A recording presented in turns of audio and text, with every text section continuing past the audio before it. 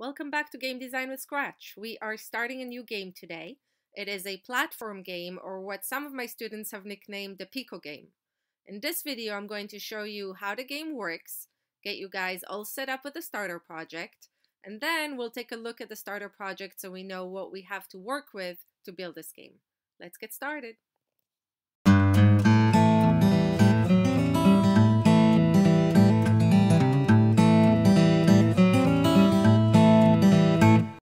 This game, our main character, Pico, must jump onto platforms to reach first a key and then a coin. Pico wins the game when he gets the coin and he loses the game when he falls into the fire. Pico is moved using the arrow keys and if you haven't already when you finish watching this video, scroll down this page and play the game a few times so you can get a feel for how it works. So like I said, you move Pico using the arrow keys. Sometimes it's hard for kids to make him jump from one platform to another, so to do that, make sure you hold down the right or left arrow keys and then press the up arrow key at the same time. Now, as you can see, if Pico is not touching a platform, he will fall until he reaches a platform. And that's really the main element of a platform game like this or like Mario. We have to program our character to always fall unless he's on a platform. So let's get you guys all set up with the starter project. Below this video, enter your email address and the download for your starter project should get to you pretty much instantaneously. So I'm going to head over to my inbox, open up my email and click this download button. This will download a starter project with this .sb2 extension, either into your downloads folder or some other folder where you choose to save it. Now let's open up Scratch, click on Create to create a new project, and then go to File, Upload from your computer, navigate to the place where you save this file, and click Open. It's going to ask you if you want to replace the contents of the current project, and yes, we do, so click OK. Okay, let's take a look at what we have to work with. Behind Pico, if you go to scripts, you will find three blocks of code. We'll use the bigger blocks of code in step two to help Pico move more smoothly. And this color green is touching color black block is going to be used to stop Pico from falling when he's reached a platform. So just to give you a quick preview, this first color here is the exact shade of green as Pico's costume.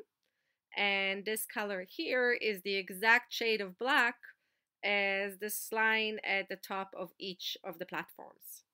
Now when these two colors touch each other, we know that Pico is on a platform. So in our code, we are going to tell the computer to always check if these two colors are touching each other. And if they are, we're going to tell the computer to stop Pico from falling and have him stay where he is, which is on a platform. So I put these two colors already in there to make it easier for you guys. So try not to click inside these squares because that will cause the colors to change and then the computer will use the wrong colors. But if by accident you happen to change these colors, I will tell you in step one how to change it back. So don't panic. I hid the colors in one of the backdrops for the stage, so you will be able to grab them from there if needed. Okay, let's grab these blocks from the top and drag them to the corner so they don't bother us. I'm going to grab this block on the actual block and not on the colors because remember we don't want to mess up those colors. Okay, let's look at our stage. This first backdrop is the background for the game. And the second one, like I said, I just put in there in case you guys need to get those colors back.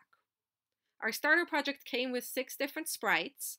We have Pico, the key, the coin, the fire, and then we also have a brick sprite and a messages sprite. The brick sprite will be used to create a moving platform. So this is a little trick. This platform right here in the middle looks like it's a part of the background image, but really it's its own sprite, which means we can control it and give it instructions. So we're going to tell it to constantly move from side to side and that's going to make the game just a little bit harder.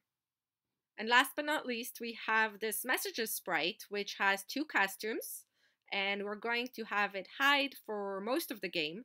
But when the game is won, we're going to show this costume, and when the game is lost, we're going to show this costume. And I think we're ready to start building this game. So when you're ready, click the go to step one button and start building.